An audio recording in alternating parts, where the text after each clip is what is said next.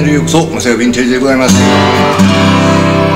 い、えーリアルタイムでは2本撮りですけども吉田拓郎さんのね未発表曲から昇華した名曲たちということでやっていきたいと思うんですけども、えー独断と偏見なんでそうちゃうかなというね、えー独断で、えーお話をさせていただく企画になりますがそれではアップにしましょう。はい、えーそれでは始めたいと思いますが、えー、拓郎さんのね、えー未発表曲については耳コピをしてね、何曲か、えー弾き語りカバーという形で上げさせてもらってますし、えー最近はですね、その未発表曲のコードをお伝えする動画も配信してるんですけども、その中で、えー未発表曲からね、え実際に昇華した名曲っていうのがあると思うんですよね。これ独断と偏見なんで違うかもしれないですよ。でも私はそういうふうに捉えてるんですけど、そういう曲を2曲を紹介したいと思うんですが、まずその1、中の城っていう曲ですね。これ未発表曲ですけども、ちょっと触りやるとね、8月10日は再会の時、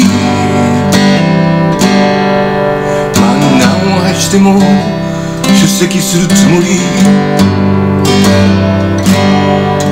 セピアのアルバムが蘇ってくる。それほど青春というわけじゃないが。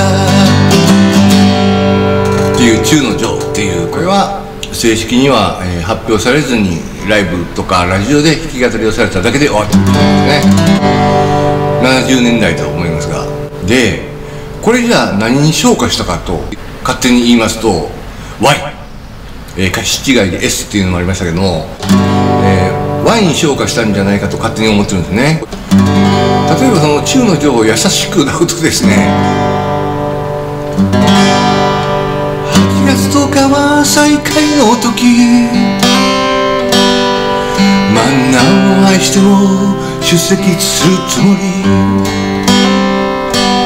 い感じでしょ？Y ってどんな歌かというとまあこれちょっとノーカポで合わせてやりますけども Y はねイントイントロないんですよ。なんてことのない出会いって言うんだろう。ただ笑ってる君がいて。いつものように僕は酔っていて。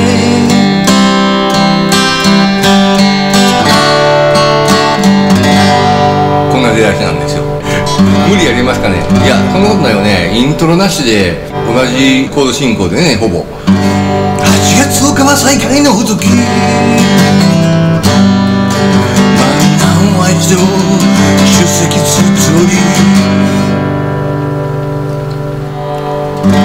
なんてことのない出会いって言うんだろう。ただ笑ってる。君がいて。いつものように。僕は酔っていて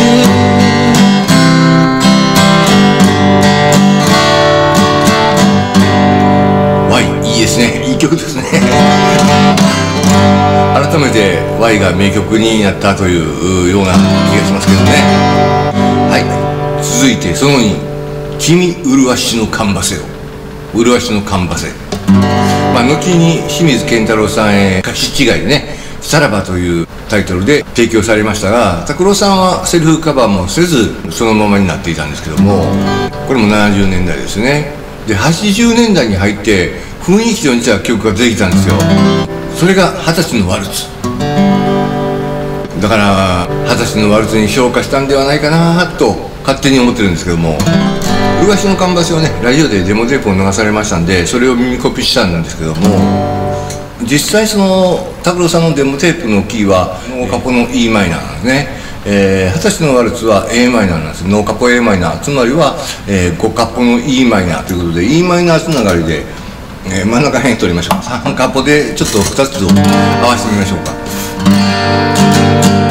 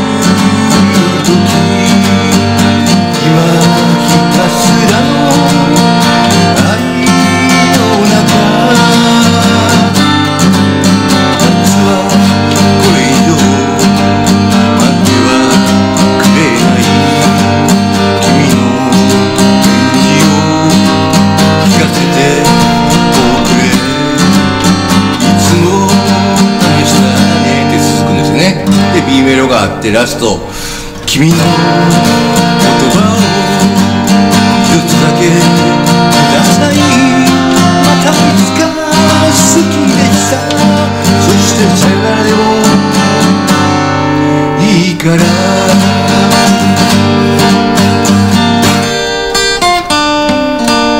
この曲の構成もまあ含めてね G, G になるところとかね、含めて、え、このように評価したのではないかと、え、勝手に思ってるんですけども、え、いかがでしょうかね。ちょっと余談ですけども麗しのカンバセとその清水健太郎さんへの提供曲さらばとしての提供曲ですね、えー、どうでもいい相違点があるんですよ。違うところがあるんですよ。カンバセのフレーズでは「熱き唇重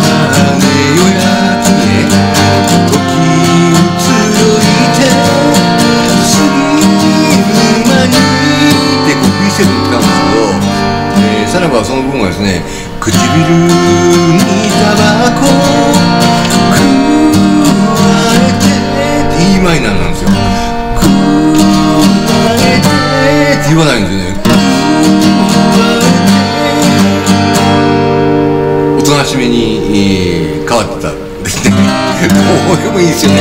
どっちでも多分あのメロディーの音符は変わらない。コードが違うだけでね。はいということで今日はこの辺りで終わりたいと思います。またお会いしましょう。さよなら。